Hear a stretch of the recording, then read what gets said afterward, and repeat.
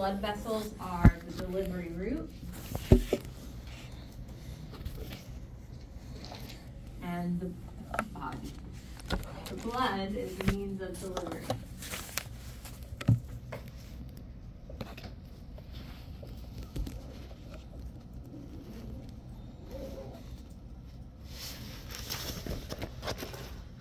Okay. So, we talked about blood has a lot of different functions, but one of the main functions was to deliver oxygen and nutrients to our body tissues and to remove carbon dioxide and waste from them. Okay?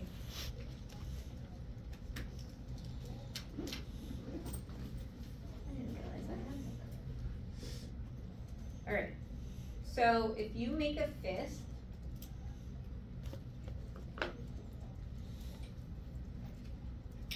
Right, say you make a fist like this? That's about the size of your heart. Right, so it's gonna be relative compared to the individual. The bigger you are, the bigger your heart's gonna be. It's, it's kind of over here. Let's look at it, okay? It's, it's in the middle, but it kind of faces leftward. You learned about the apex or the pointy part of the heart points down and to the left. Okay, whereas the base of the heart kind of um, faces posteriorly and inferiorly. All right. Um, Hmm. if we located the heart, right, if we had to say, okay, these are the borders, right, our heart basically can be located if we look at the sternum, right, so it's kind of centered, but a little bit to the left. All right, and then we basically can say that it is in between our second and fifth internal intercostal space. So intercostal, remember, means between the ribs. So here's our intercostal space. Okay, second intercostal space, and here's our fifth intercostal space. Okay, you could see that it kind of, the heart kind of rests on the diaphragm. Okay, and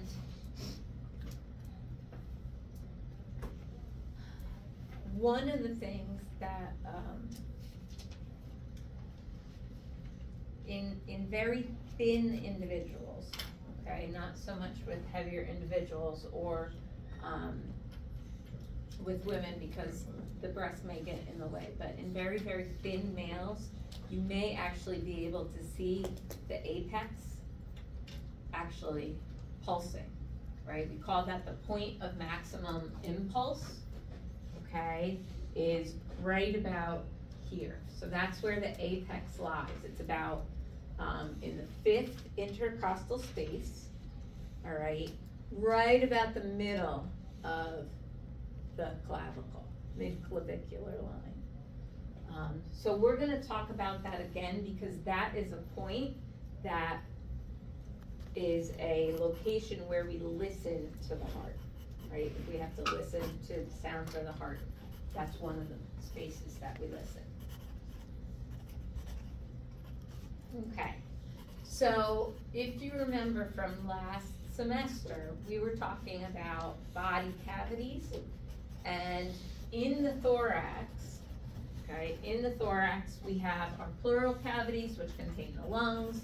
We have our mediastinum, which is kind of sandwiched between the lungs, okay? And then um, within that mediastinum, the heart has its own cavity. Do you guys remember what that was called? What cavity housed just the heart? Pericardium. The pericardium, excellent. Okay, so over here, right, here's our pericardium. It is a tough fibrous sac, that encloses the heart. And if we take a look a little bit closer at the pericardium and at the heart, we're going to look at some of the linings. Okay.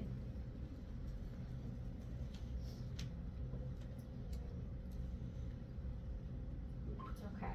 So with the pericardium, um, the pericardium just like all the, um, ventral body cavity linings, right? The same goes for our lungs, the same goes for our abdominal organs.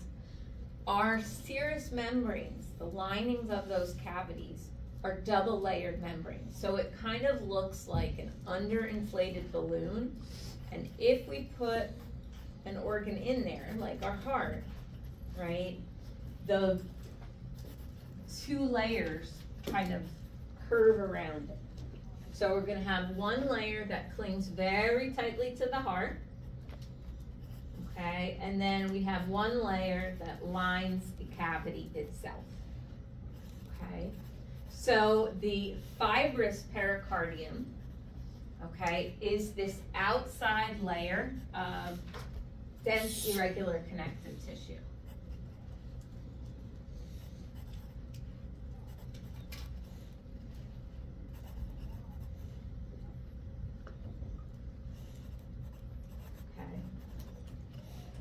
And then inside that, we are gonna have our serous membrane, okay?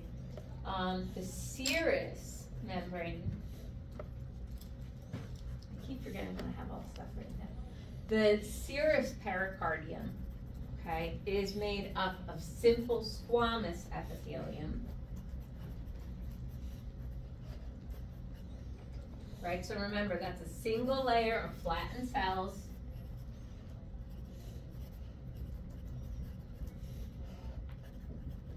And like you could see here, right, we have um, a layer that lines the walls.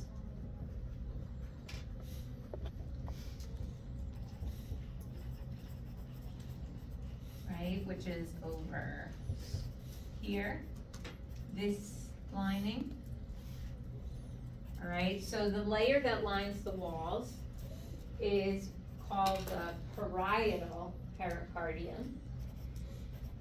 Okay, so that's gonna line that fibrous sac. Okay, and then we have another layer that clings. It's still the same layer, it's just kind of folded over on itself. All right, that clings to the heart itself, and we call that the visceral layer. God bless you. Thank you.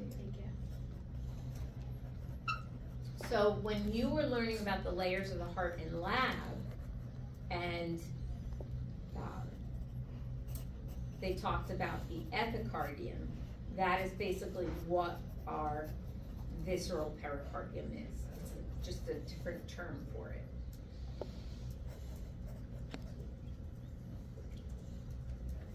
But all it is is just a single layer of squamous epithelium, okay? And if you remember, the job of the serous membrane is to produce a lubricating fluid. So every time the heart is empty, no big deal because it doesn't touch the pericardial sac, okay? But as your heart fills with blood, what's gonna happen? Expands. Yeah, your heart's gonna expand and it's gonna rub up against the pericardial sac, right? And if you didn't have that serous fluid, it would hurt every time that happened. All right, so the job of the fluid is to kind of provide this friction-free environment. So every time the heart fills up with blood and contracts and fills up and contracts, that it doesn't hurt. You said the epicardium produces that lubrication? Yeah, the, the serous pericardium, so both layers are responsible for um, secreting the fluid. So we have a layer that lines the pericardial sac, okay, and then we have a layer that lines the heart. Do we need to know the name of that fluid? The what? What's the name of the fluid, type of fluid? No, it's just serous fluid. Just serous fluid. Yep.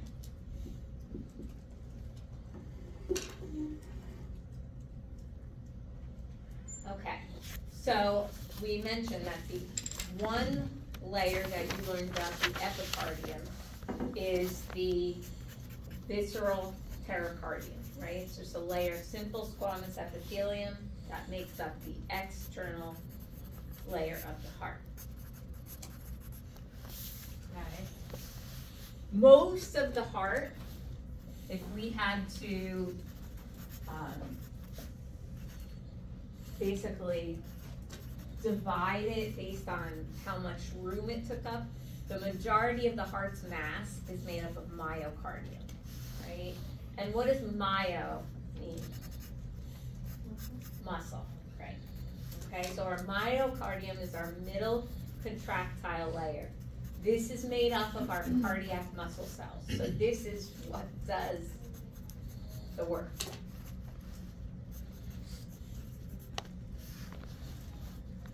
Okay, and as I said, it makes up the bulk of the heart's mass. And then our inner layer that lines the chambers of the heart as well as the valves, okay, is called the endocardium. And that is also made up of simple squamous epithelium.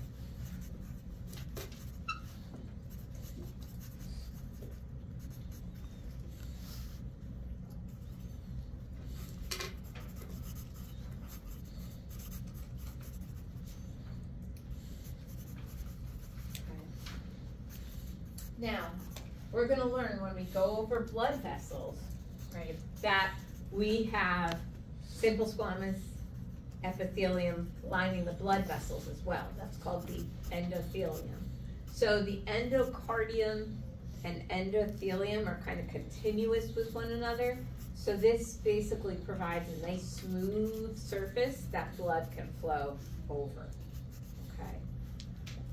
So blood flow is pretty smooth as long as there's not a lot of blockages, right? And that all depends on people's diet.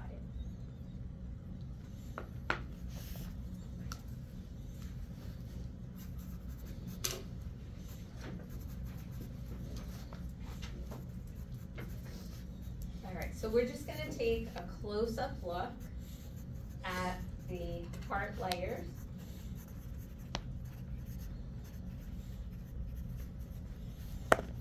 if we look over here, right, what the textbook has done is they've taken, do you guys remember what chamber this is? The left atrium. Yeah, good, left atrium. So, um, if we take a look at a little piece of the top of the left atrium, right, we can see our different layers. So over here, right, this is our layer of dense irregular connective tissue that makes up that pericardial sac. Okay, and then you could see that we have this thin layer right here. This is our pericardium, our serous pericardium.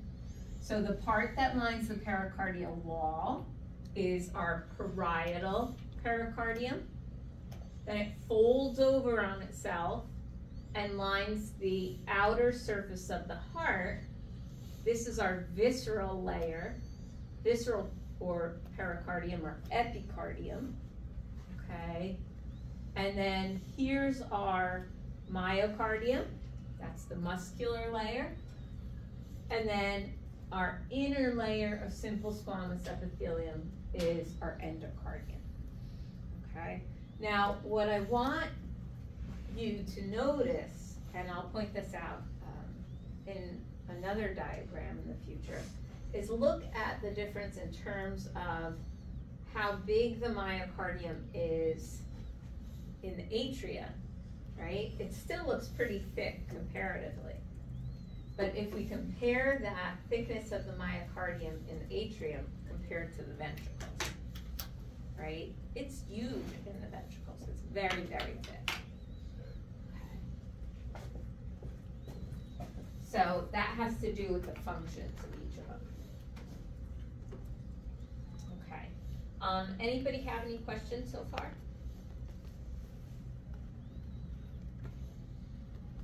All right. So our heart basically has two pumps. We have two kind of what we call circuits in the body, right? The job of the pulmonary circuit is to oxygenate blood for the body. So we have deoxygenated blood. So anything that's blue represents deoxygenated blood, and red represents oxygenated. Okay, so the pulmonary circuit starts out in the right heart.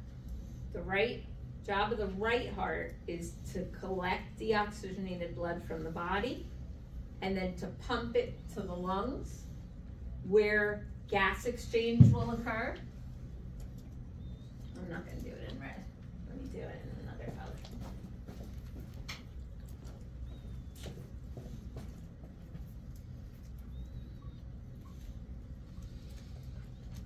Alright, so we'll get rid of carbon dioxide and we'll pick up oxygen.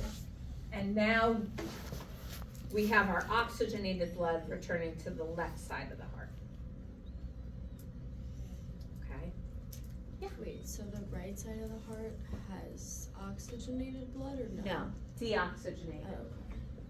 Right side of the heart is deoxygenated blood. Okay, and then the left side of the heart is oxygenated. So, the function of the pulmonary circuit is to oxygenate the blood. Okay? Then we have our systemic circuit. Yeah. So with the right side, kind of getting the blood back, maybe like the return part portion is the oxygenated blood is coming from the left side, so that's distributing to the body. Yes, yep. So our systemic circuit is basically what provides oxygen and nutrients to the majority of the body tissues. Okay, so that's why when you looked at Spaghetti Man, most of the arteries were red and most of the veins were blue. Not everything though, right? You learned in Pulmonary arteries. Exactly. The pulmonary circulation is reversed. Damn it. So by oxygen for blood, you just mean it's bringing carbon dioxide to the lungs? Yeah. And then it'll bring oxygen to the heart and then the other way around? Exactly. Exactly. Okay. So our left side of the heart contains oxygenated blood, hence the red. Okay, it brings that oxygen to the body. All right. Gas exchange occurs. Say four. Right, so here we go. Left side of the heart gives oxygen to the body tissues, and the body tissues are going to send carbon dioxide back towards the right side of the heart.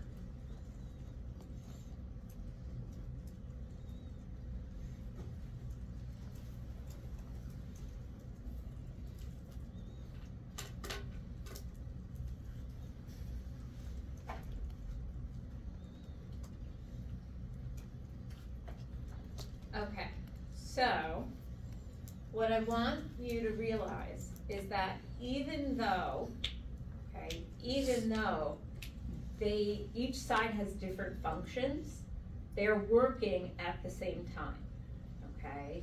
And that we have how many chambers in our heart? Four. Four, right? The two upper chambers Atrium. are the atria, they receive blood, okay? And then the lower chambers the Ventricles. ventricles pump blood. Right. So when the heart contracts, and I'm gonna have you do this with me, even though you may seem feel silly. All right. Our atria are gonna contract simultaneously. Okay. They contract first, and then our ventricles contract. All right. So let's just do that. Atria contract first, then the ventricles. Atria contract first, right? Ventricles. And that's important, right? The atria have to contract first before the ventricles because what the are blood. they doing? They're sending the blood into the ventricles. So they're squeezing out whatever's left, most of it goes into the ventricles because of gravity, but we still gotta squeeze the rest of it. Is it one to one or two to two? Like, like is it one to one one one one? Yeah, yeah. Oh, okay. Was- There were two squeezes or something. Okay. So it's I am doing two squeezes, Yeah. right? So atria first, then the ventricles. Atria first, dump it into the ventricles, then the ventricles to pump it out. Now, um, the left and right side, as we said, work simultaneously and they pump the same amount of blood. So the same amount of blood is going to the entire body as is going to the lungs. The difference is, is that one side has to work a lot harder than the other. That's only in a, in a, in a, functioning heart. Yes. Okay. Because if you have like AFib, it's not pumping correctly. Because it creates a blood clot usually. Yeah. But a lot of people go in and out of AFib. Yeah. So that's why we worry about the clot. Because when I, I, I, work at Jersey Shore, I watch hearts all day, and it's just I can see the contraction on the wave. And I'm like, okay, pump, you know, QRS, and releases. I was always wonder like how that works mechanically, not with the actual wave. So, so if the atria are in fibrillation, which is really common in older individuals, basically what it looks like is this, right? Our cardiac, our heart, um, those cardiac muscles work as a unit. So all the cardiac muscle cells in the atria work as one unit. Their job is to pump at the same time, okay?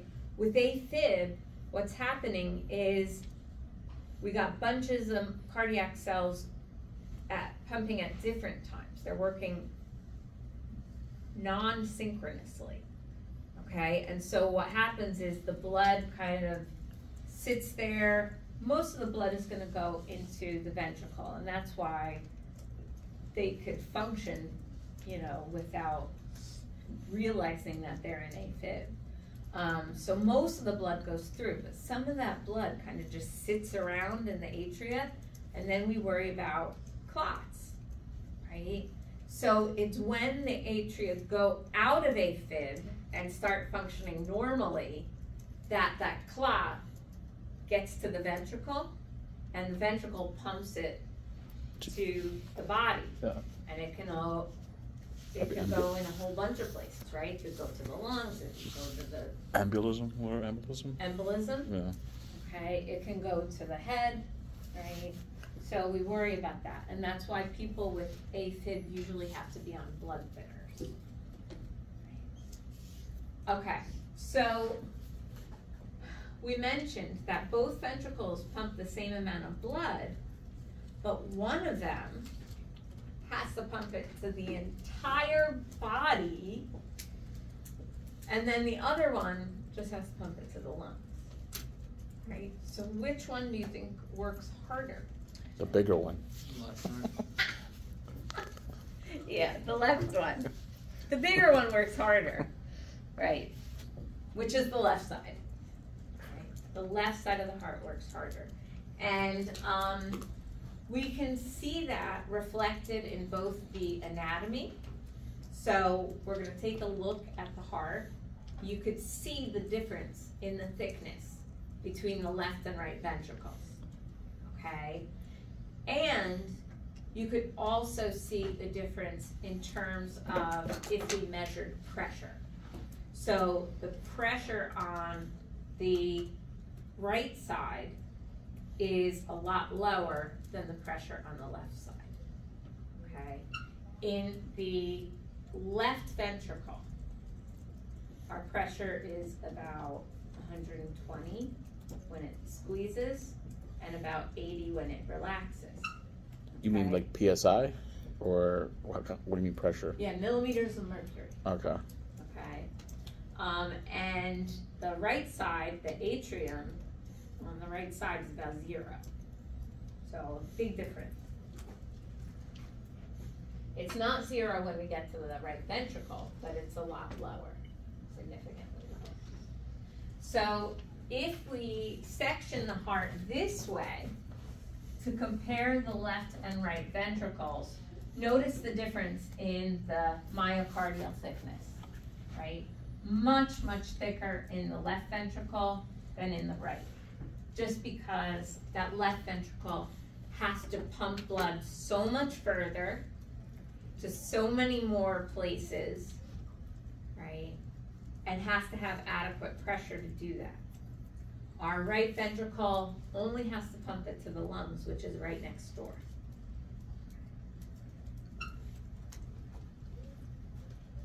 And again, remember when we talked about um, the thickness of the atria and the ventricles, I'm just gonna go back. Right?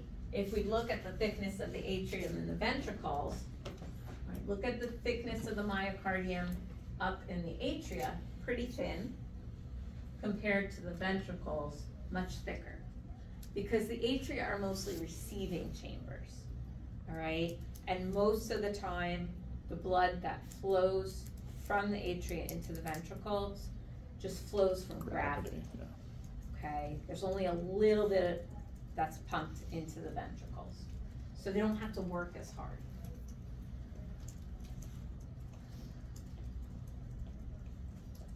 Okay. Now, if we look at the heart, there is a fibrous skeleton, okay, which basically just connective tissue that runs throughout the cardiac muscle. Okay. The fibrous skeleton is important for a couple of reasons. Number one, we need something to support the valves of the heart, right? The valves of the heart need something to attach to. Okay, and the great vessels as well. It's also gonna be a point of attachment for our cardiac muscle tissue.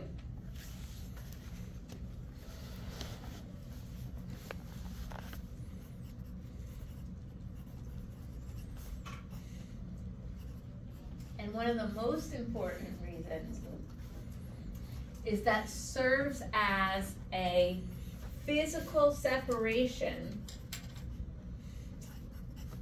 almost like an insulator between the atria and the ventricles. So connective tissue does not conduct electricity like nerve cells or cardiac muscle cells do. Right? Remember, the only ones that conduct impulses are muscle and nerve cells. And that's important because we said what has to happen first? Contraction. The atria have to contract first, and the ventricles have to wait so they can be filled. Right? So atria contract first, ventricles contract second. That can't happen if there's no separation. So it's just like a pressure system kind of. Is it like a pressure system? Blood flows completely based on pressure, right? But muscle contraction relies on conduction. All right, and so the fact that we have this fibrous skeleton electrically separates the upper from the lower chambers. Can they misfire? Sure. What is that? What was that called? Uh, we'll get Okay. to some of it in a little bit. Alright. So you know the basic anatomy of the heart, right? Our um, atria are going to the superior lid. I am going to kind of, um, I'm gonna skip over this this, uh, page. You can refer back to that, but I'd like to bring up an actual picture of the heart while we're discussing it. Okay, so if we look, don't worry about this yet, we're gonna get to that, okay? If we look at our heart, right, we mentioned that our atria are receiving chambers. So blood comes into the atria, okay? They're relatively thin walled, okay? And then what's the wall that divides the left and right atrium? Intra- Intraventricular groove. Excellent. With? Interatrial septum, Oh no. right? I'll get to you. All right, so the I that. left and right atrium are separated. I got it wrong.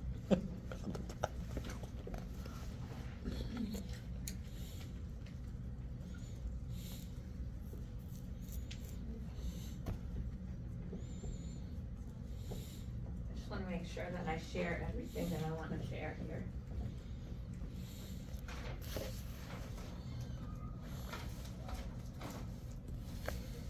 Okay, and then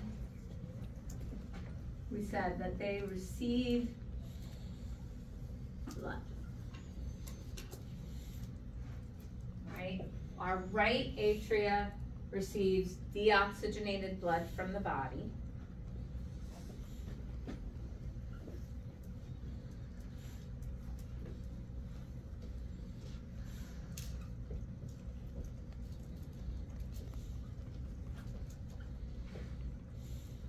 Okay, and then our left one is gonna receive what Oxygenated blood. from? The lungs. Lungs. Lungs. Excellent. Thanks for the assist.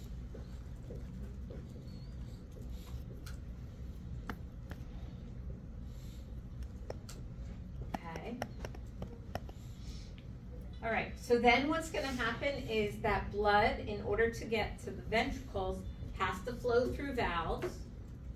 Okay, those valves are important. We're gonna talk about them at the end of today's lecture, hopefully. Um, they're important because they make sure that blood only flows One way. one way.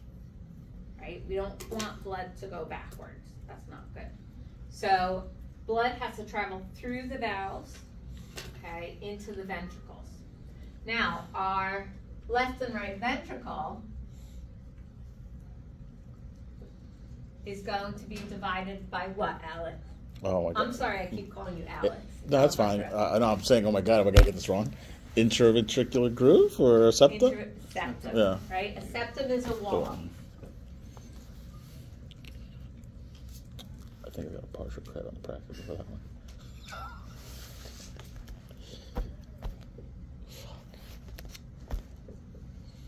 Okay, so, um, our left ventricle, this is our atrium. Our left ventricle pumps oxygenated Oxygenated blood To the body. to the body, good. Okay, and then our right ventricle. I think I need a new marker. The the lung. Good.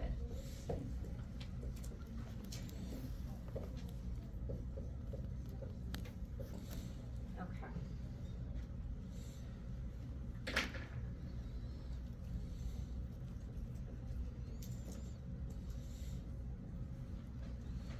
So the valves between the atria and the ventricles and between the ventricles and the vessels.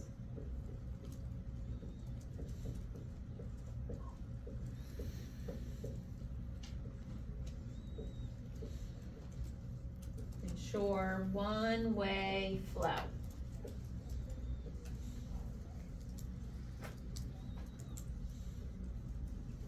Can there be birth defects with valves? Sure, sure. Okay. Um, so a couple things. You learned about, um, some, some smaller structures in the heart, right? You learned about the papillary muscles and the chordae tendineae. Okay, so these little finger-like projections are our papillary muscles. It's a much better picture. They're the ones that pull the myocardial ten- tendon. They hold the chordae tendineae, right? So that's what these white things are.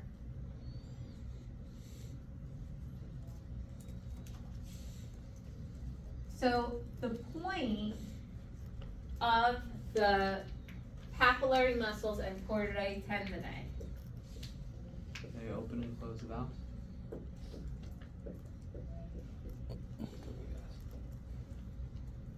The papillary muscles contract, they're gonna pull on the chordae tendineae.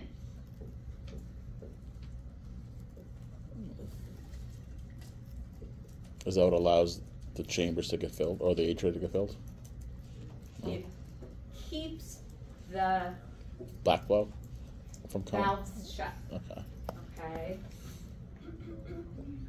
So it's gonna keep the tricuspid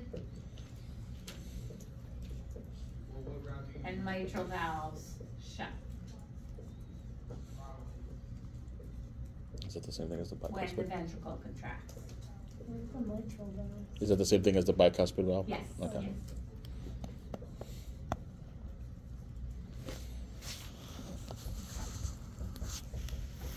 Um,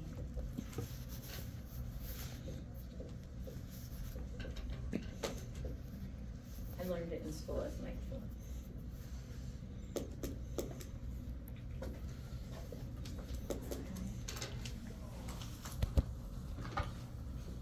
Right, and again, right, pressure is, pressure differences is what's driving the flow. But what happens is as these get ready to contract, their pressure goes up. And if we didn't have these chordae tendineae keeping the valve shut, then the blood could easily flow backwards. Alright, so that makes sure that blood flow stays one way. Okay, now you started talking about the grooves, right?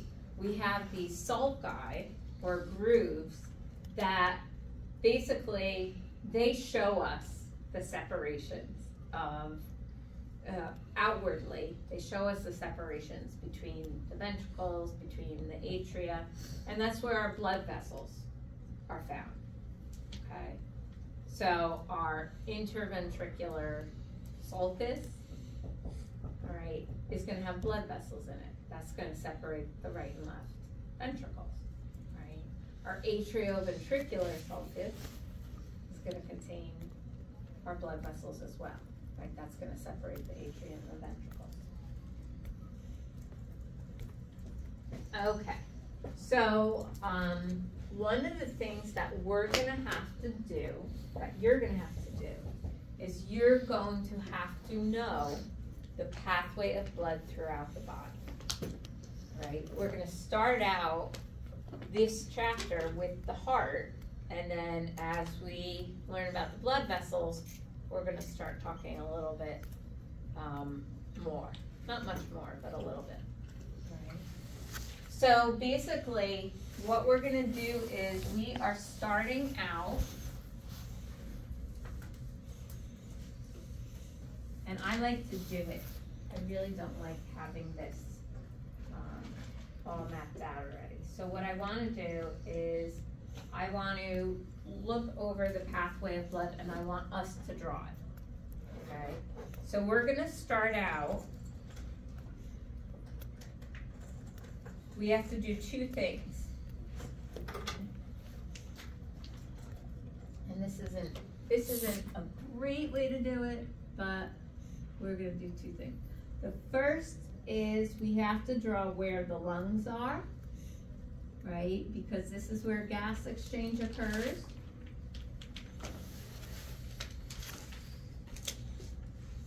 Okay, and then we have to draw the tissues. Because this is also where gas exchange occurs.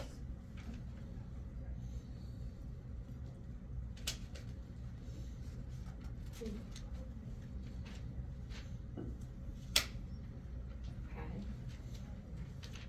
So, where do you wanna start? Do you wanna start in the left ventricle? Okay, so we will start out in the left ventricle, and when we do left ventricle, am I doing oxygenated or deoxygenated?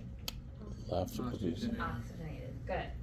So we start out in the left ventricle. Okay, and the left ventricle is going to go to what large vessel? Aorta. Aorta, right? So we have our left ventricle, our aorta, but what's between the left ventricle and the aorta? There, yep. So we have our aortic valve, blood has to travel through the valve before it gets to the aorta. Okay, and then it's going to basically go to smaller and smaller vessels until it reaches our tissues, right? And these are where the tiniest blood vessels called our capillaries are. Right? We basically dump the oxygen, and what do we pick up? Carbon dioxide. Right, okay, so we're gonna pick up carbon dioxide. Okay, and then we're gonna bring it back to the heart. So what are the vessels that empty into the right side of the heart? What are the deoxygenated vessels? Those two Well, pulmonary, pulmonary, yeah, oh, Okay. yeah, Art, artery. Cana There you go. Superior and Vena inferior cavas. vena cava. I say cava. Okay, and they're gonna empty into what chamber? Atria, Which one? right atria. Now, before the right atria can go, before the blood can go from the right atria into the right ventricle, what valve does it have to cross? The tricuspid. A tricuspid valve, okay? And then it goes into the right ventricle. Okay, from the right ventricle, it's going to travel to what vessel?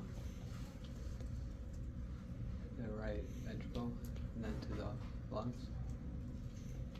Well, it's gotta go into a blood vessel. It's gotta be carried by a blood vessel before it can reach the lungs, right?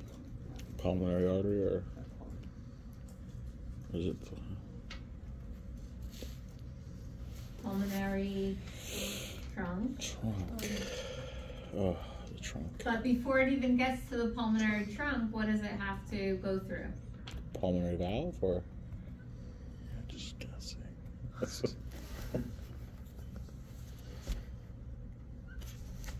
so our pulmonary valve, right ventricle, past the pulmonary valve into the pulmonary trunk.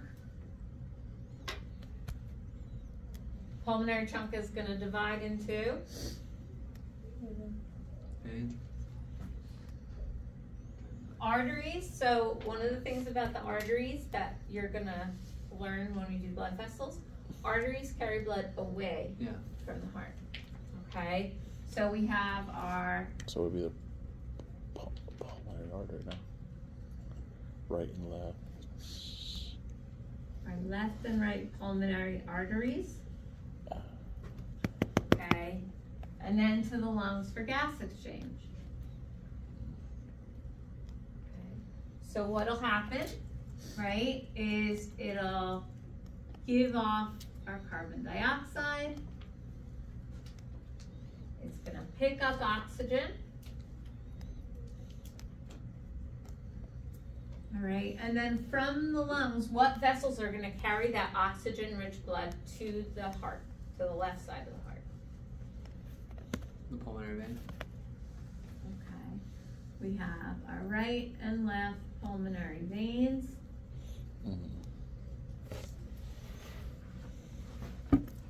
Okay, and then we go to what? They're gonna Back to empty the- into Left atrium. left atrium.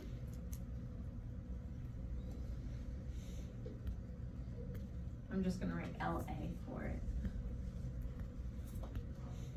And then before it gets into the left ventricle, let me just move this down a little bit. What does it have to pass through? mitral valve. And you could write bicuspid, doesn't matter to me. Okay. Probably now that there are younger doctors than me, they probably may use bicuspid, but Wait, what does that say for left in the blue? It says left and right pulmonary. arteries. AA oh. is shorthand for arteries. Okay. Okay, and VV is short for veins. Okay. All right, so we've gone through all the structures that the blood has to pass through or pass by. And you've learned which of those vessels carries oxygenated blood and deoxygenated blood. So the way that you're gonna see questions like this would be, you know, before blood enters the the right ventricle, what structure must the blood pass? All right, so you'll have to know what's before, what's after, and whether it contains oxygenated or deoxygenated blood. Okay, so let's, you can look at this while I ask you a couple questions on it. All right, so number one, um, what structure, um, what structure carries deoxygenated blood to the right atrium? Superior vena cava. And? Inferior vena cava, good. All right, what structure is found between the left atrium and the left ventricle? Mitral valve. Um, what type of blood does the pulmonary vein, do the pulmonary veins carry? Oxygenated or deoxygenated?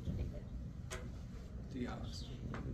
oxygenated, right? Pulmonary veins carry oxygen-rich blood. All right. Um, before the blood enters the left pulmonary artery, what is it found in?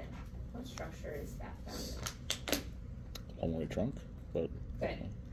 Right. So before blood gets to the left pulmonary artery, it's found in the left pulmonary trunk. Let's say this wasn't the test. Would you put like pulmonary trunk and pulmonary valve, and would you want the immediate one before it, or would it be like both? No, just the immediate one. Okay. just the immediate one. So this takes practice. I'm telling you right now, it takes practice. Practice writing the sequence, okay? And use colors to help you.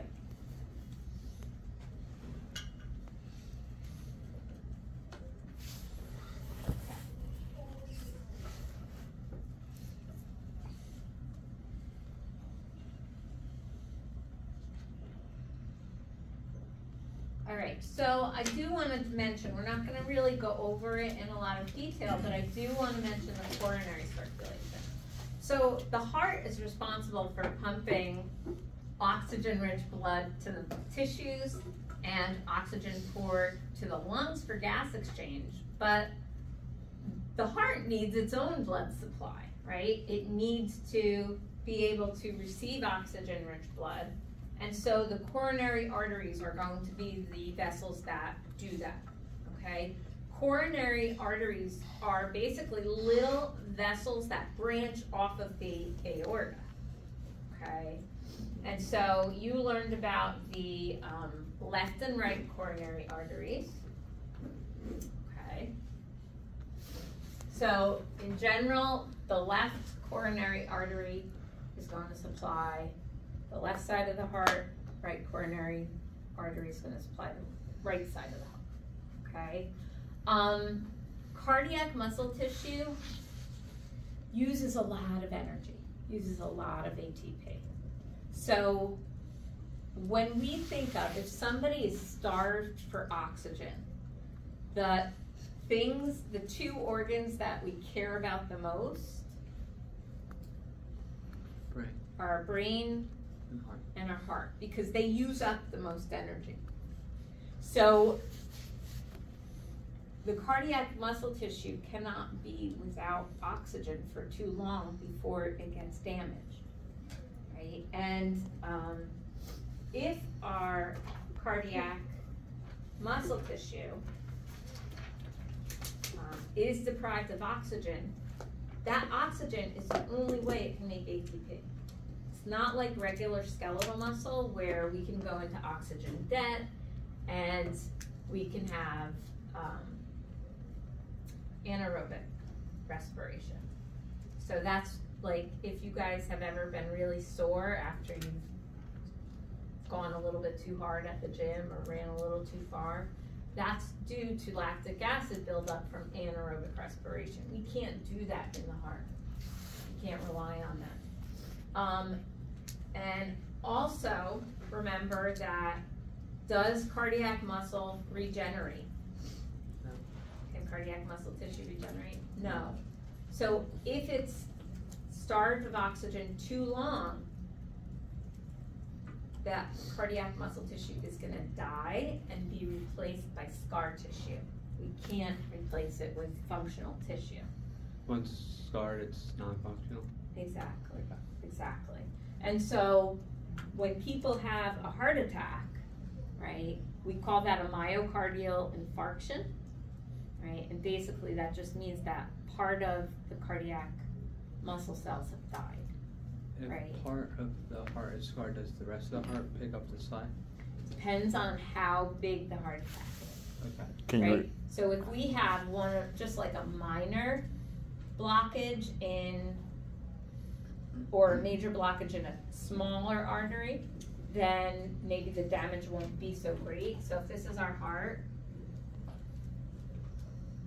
right? Say we have damage to the atrium, all right?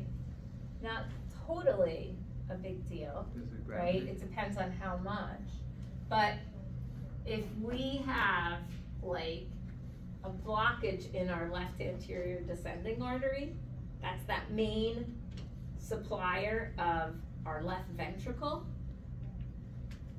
The left ventricle does most of the work of the heart, right? So if that's damaged and it's a big blockage, right? That's why some people die right away from heart attacks. Not everybody can recover from it. Okay.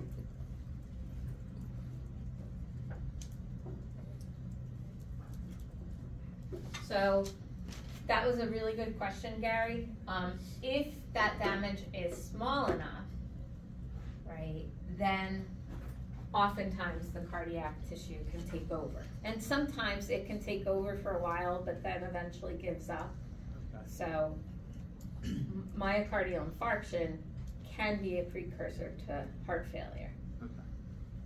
Is the symptoms the same? Like if you have a small heart attack and you have a big heart attack, like so like say like what is it, your like your left arm goes numb or something like that? Yeah, so you usually get, um, well, not everybody has the same symptoms, especially women. A lot of times women have way different symptoms than men.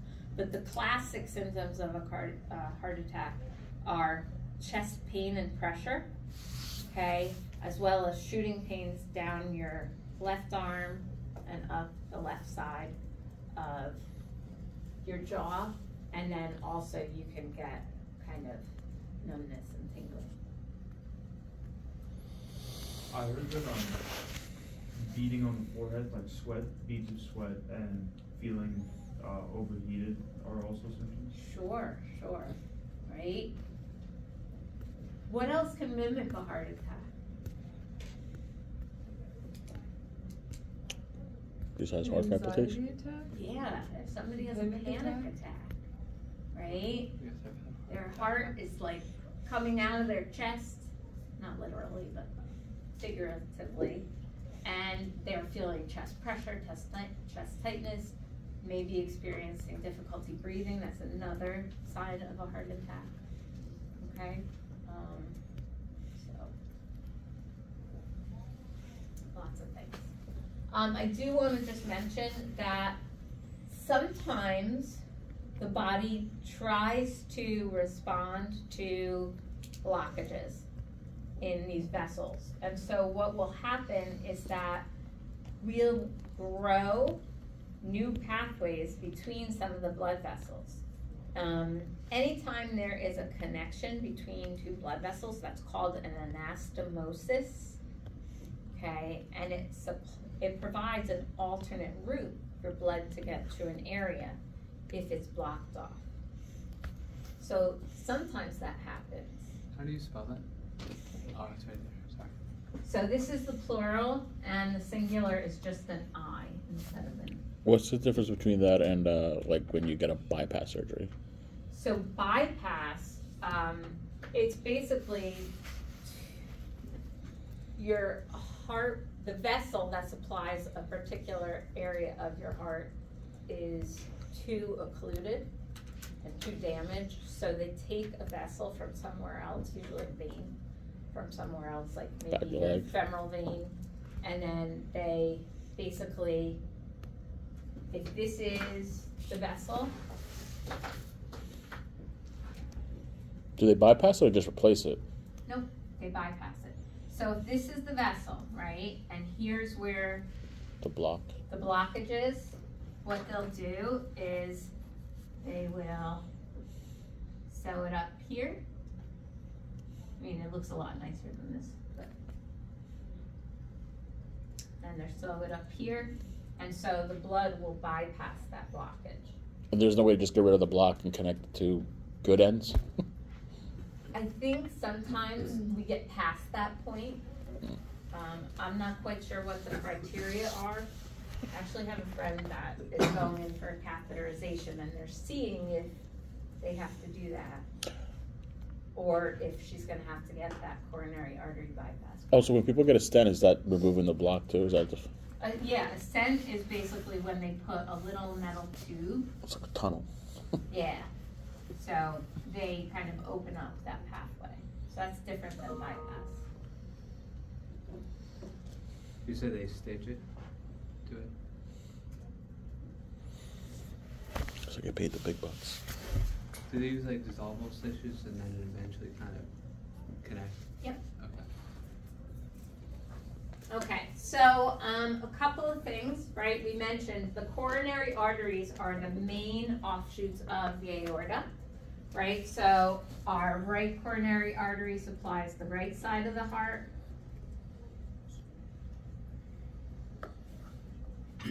Our left coronary artery supplies the left side of the heart. I know you had to learn about the different, um, arteries, the one that I care most about, besides the light, right and left coronary, is this left anterior descending, okay? This supplies the left ventricle. So this is the one that we really concern our, uh, we concern ourselves with everything, but, alright. Um, if we have to look at veins, all right, our great cardiac vein is probably one of the most important that receives stuff from the left side of the heart. It receives deoxygenated blood. And then, um, if we look in the back, okay, you learned about the coronary sinus. So what happens is that all these coronary veins basically empty into this very thin walled structure called the coronary sinus. The coronary sinus is right behind the right atrium. And so it's gonna empty all of its blood into the right atrium. Okay.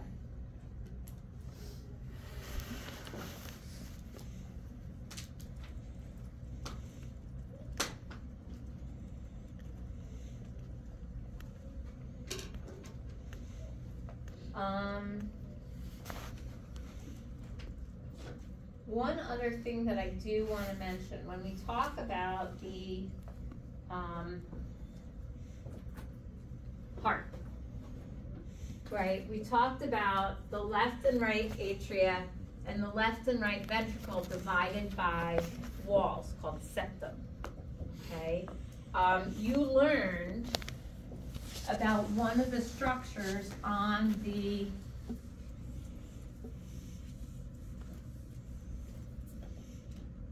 interatrial septum. So um, if we look at the right atria and left atria, right, we have our interatrial septum.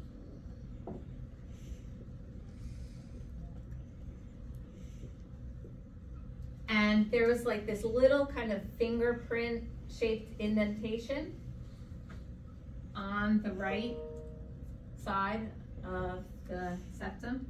Do you guys remember what that little heart shaped or fingerprint shaped structure was? Is it the fossa? Fossa? Something fossa. Fossa Fossa? ovalis? Ovalis. Ovalis, good. Nice, remember that one. So the fossa ovalis is basically just a flap of tissue. Um,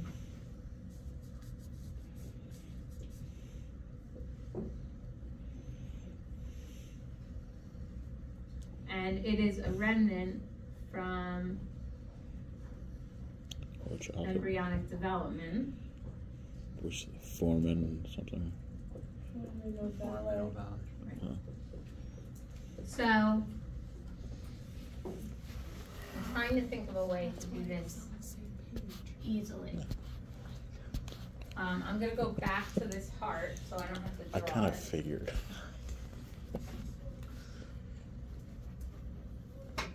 So, basically, during fetal development, who does the breathing? The mom, yeah.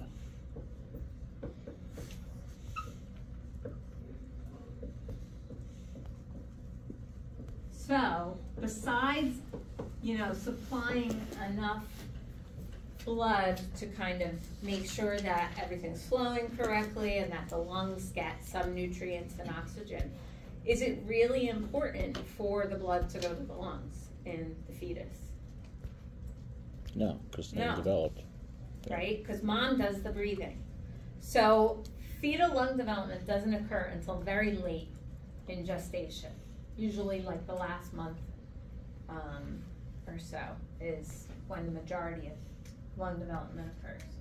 Um, so what we have in the fetal circulation is we have a couple places where the blood bypasses the lungs.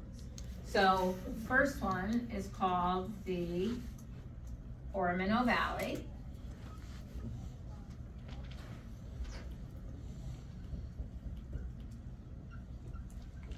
Okay, and that's basically, it shunts blood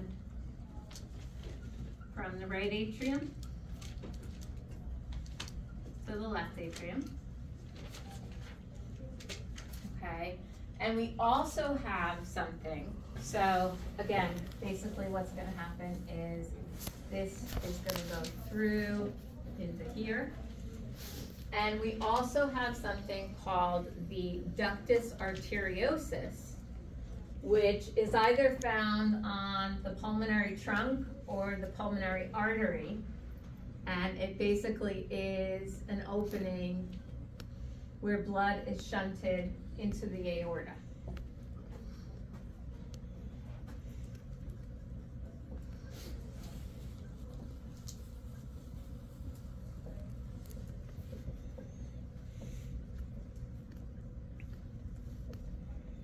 So we'll just say the pulmonary trunk.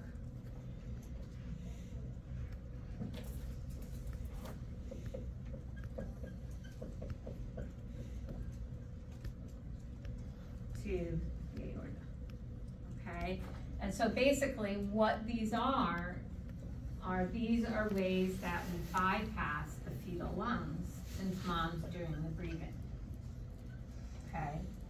So what happens is when baby is born and baby takes their first breath in, all of a sudden the increased pressure in the lungs is gonna force these flaps shut.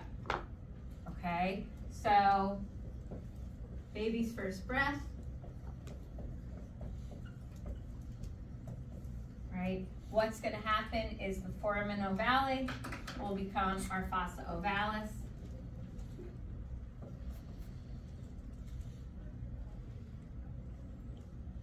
So it's going to shut these things, and so we have our fossa ovalis, and our ductus arteriosum becomes the ligamentum arteriosum.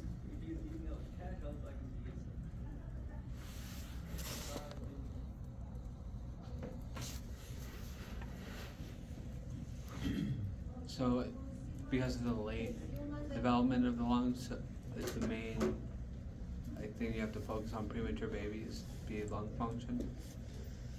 Yeah, that's a big issue with premature babies. And so, um, we'll talk about that when we get to the respiratory system. Okay.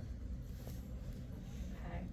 So the last thing that I wanna go over today, God bless you, and I know we don't have enough, uh, a lot of, um, time for this, is our heart valves. Okay, so our heart valves, we mentioned, make sure that blood only flows one way. And those heart valves are gonna open and close in response to pressure changes. Okay, so we're gonna have valves that separate the atria from the ventricles. Those are called our atrioventricular or AV valves. And then our semilunar valves, the bicuspid and tricuspid, are gonna separate the um, ventricles, excuse me, not the bicuspid and tricuspid. These are the AV valves. Our semilunar valves are gonna separate the ventricles from the blood vessels that they supply. Okay, so the way that blood is always gonna flow is we're gonna go from the atria to the ventricles to the vessels. Pressure will drive it forward and the valves will prevent it from going backward.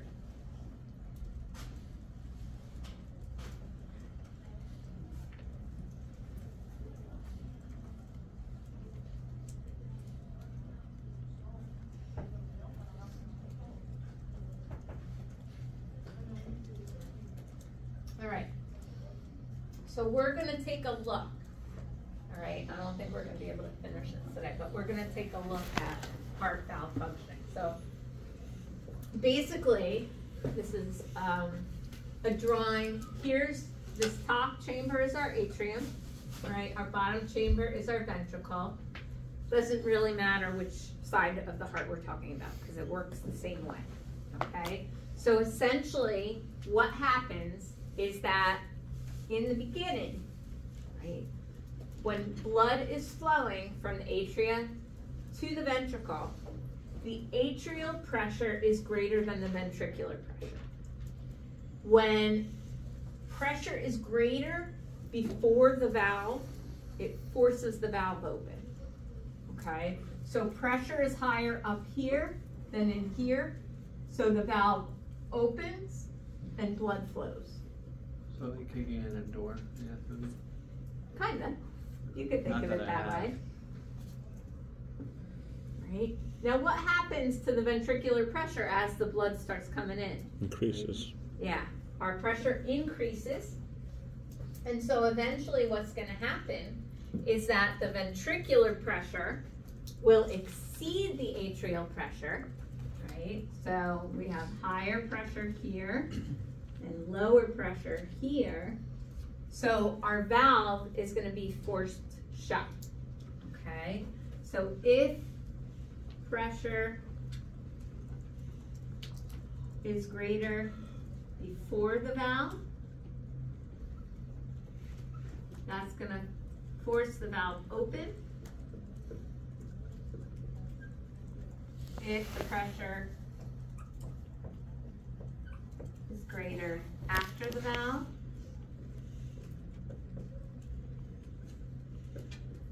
It will force the valve shut.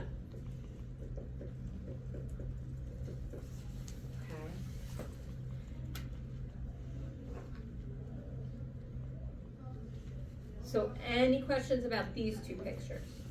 Because what we haven't taken into account is our vessel, right? We said blood flows from the atria to the ventricles to the vessels. So now we gotta put the vessels into here. Okay? So over here, on this side of the picture, this is our vessel. Okay, and this is our semilunar valve. So right in this instance, right, ventricular pressure is greater than aortic pressure. Right, so if the pressure is greater before the valve, valve's forced open, blood flows into the aorta. Okay? Pressure is lower here in the atrium, but it doesn't matter because this valve stays shut. That's the job of the chordae tendineae and the papillary muscles, to keep that shut, right? And what's gonna happen to the aortic pressure as Decrease. the blood enters? Oh, is it? Yeah, as the blood enters the vessel, the aorta, okay, what's gonna happen is that aortic pressure is gonna start to increase. It's gonna start getting higher than the ventricular pressure, and so that's gonna force our valve shut. Okay, so the pressure difference is what drives the flow of fluid from the atria to the ventricles to the vessels, and the valves make sure that it only goes one way. Okay. Um, what I need you to do for next week, okay, is I need you to review the skeletal muscle action potential, resting membrane potential, and skeletal muscle action potential.